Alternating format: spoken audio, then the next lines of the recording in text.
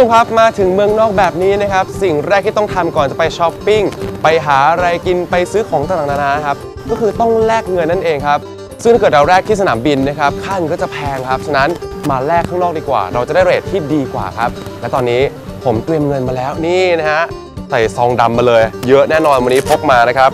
เดี๋ยวดูเลยนะฮะนี่แม่วันนี้นะฮะรู้สึกว่ารวยมีพิเศษนะครับมากับเสียญี่ปุ่นวันนี้นะครับพกเงินมาเป็นปึ้งเลยแบบนี้ ดี๋ยวไปดูดีกว่านะครับว่าจะแลกได้สักกี่กีบครับนะครับ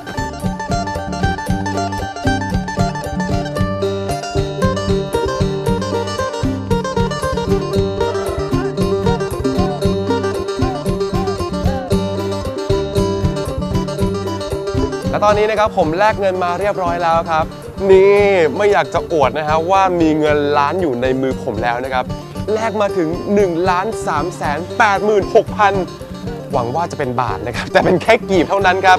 เอาไปคูณเอาเองนะครับว่าผมแลกมาเป็นเงินกี่พันบาทนะครับเพราะว่า 1,000 กีบของนี่นะครับต้องใช้เงิน 4.33 บาทแรกครับก็เรียกว่าตอนนี้นะครับเงินเป็นล้านอยู่ในมือเลยนะฮะแล้วแบงค์เนี่ยแบงค์ใหญ่สุดแบงค์1 0 0 0 0แสนนะครับใหญ่ที่สุดครับ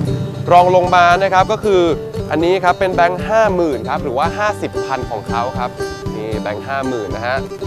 แล้วพอจาก 50,000 เสร็จปั๊บเราก็จะมีแบงค์20,000 ครับ นี่หน้าตาเป็นแบบนี้นะครับ 20พันนะครับ แล้วก็ไล่ลงมานะครับเรื่อยๆเป็น 5,000ครับ5,000 กีบครับผม และสุดท้ายเล็กที่สุดนะครับ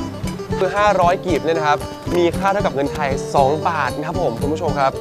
ส่วนใครนะครับที่ อาจจะเงินหมดกระทันหันนะครับแล้วมีเงินไทยติดอยู่ในกระเป๋าสตางค์เนี่ยก็สามารถใช้เงินไทยไปซื้อของได้เหมือนกันครับรับหมดเลยครับแบงค์20แบงค์ร้อยแบงค์พันแบงค์ห้าร้อยนะครับรับหมดเลย แต่ว่าเราจะขาดทุนครับเพราะถ้าเกิดเราไปแลกที่สถานที่แลกแบบนี้นะครับหรือว่าไปซื้อของที่ตลาดนะครับให้แบงค์20ไปเนี่ยนะฮะมันมีค่าประมาณ 4,600 กีบครับถ้าเกิดแลกตามร้านแลกทั่วไปนะครับแต่ว่าร้านค้าจะคิดแค่ 4,000 กีบครับก็คือเหมือนกับเราขาดทุนฉะนั้นก็ใช้เงินกีบไปดีกว่านะฮะถ้าเกิดเงินหมดก็ไปหาที่แลกนะผมว่าคุ้มกว่า ตอนนี้นะครับมีเงินเต็มเลยอยู่ในมือนะครับ พร้อมที่จะไปใช้จ่ายเงินนี้ให้หมดภายในคืนนี้เลยนะครับ ไปตะลุยกันเลยดีกว่าครับไปเลยครับ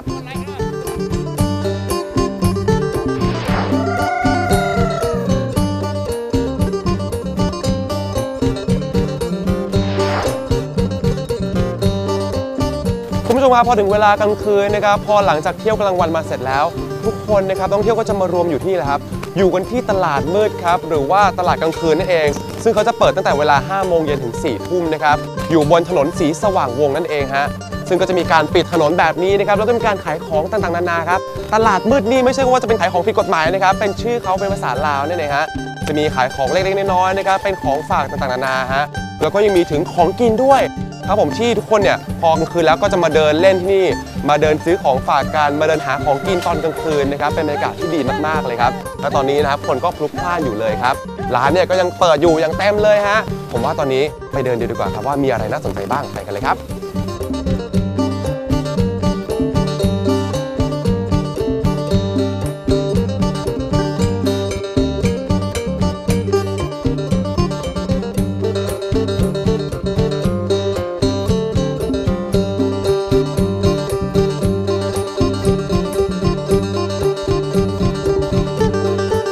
และตลาดมืดแห่งนี้นะครับคุณผู้ชมครับเป็นตลาดมืดที่มีของขายมากที่สุด แล้วก็ใหญ่ที่สุดในหลวงพระบางเลยนะฮะมีของมากมายครับไม่ว่าจะเป็นผ้าทอมือนะครับเสื้อต่างๆ ที่เป็นเมืองงานหัตถกรรมนะครับเครื่องประดับแบบเครื่องเงินแบบนี้ก็มีเหมือนกันนะครับหรือว่าใครอยากซื้อหาของฝากไปฝากเพื่อนฝากแฟนนะครับที่เมืองไทยก็หาซื้อได้ที่นี่ที่ตลาดมืดแห่งนี้แหละครับ ถือว่าเป็นหนึ่งไฮไลท์ในยามค่ำคืนของหลวงพระบางเลยก็ว่าได้ครับ แล้วผมก็ได้ลองเดินดูนะครับสัมผัสบรรยากาศที่นี่ผู้คนที่นี่ก็น่ารักมากๆครับ ของเนี่ยก็ราคาถูกไม่แพงเลยนะฮะซื้อหาได้ง่าย ๆเลยครับ สุดยอดไปเลยที่นี่ ถ้าใครไม่มาเนี่ยถือว่าพลาดเลยกับตลาดมืดแห่งนี้นะครับตอนนี้ผมว่าไปเดินต่อเลยดีกว่านะครับเกับสุดละไปเลยครับ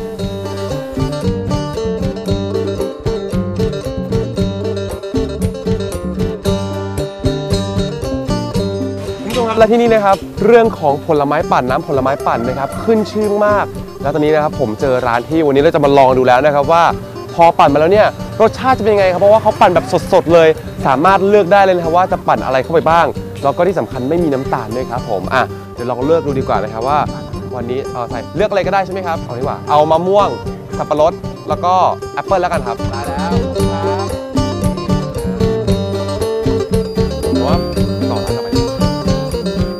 สอร์ท โรงแรม เกสต์เฮาส์ ร้านอาหารมากมายทำให้เป็นเหมือนจุดศูนย์รวมของนักท่องเที่ยวเมื่อยามเย็นมาถึงครับ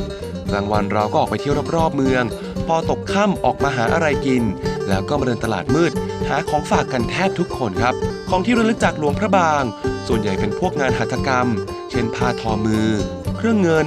ผลิตภัณฑ์จากกระดาษสา งานไม้ งานหวายเป็นต้นครับ ผมได้สนุกกับการเรียนรู้และเปิดรับสิ่งใหม่ในโลกของ AAC แต่นี่เป็นเพียงแค่เทปแรกครับ ยังมีความตื่นตาตื่นใจให้ติดตามอีกมาก ติดตามต่อเทปหน้านะครับ Life is Travel เพราะชีวิตคือการเดินทาง และนี่คือการเดินทางของผม ญี่ปุ่นธนัทที่เมืองหลวงพระบางประเทศลาว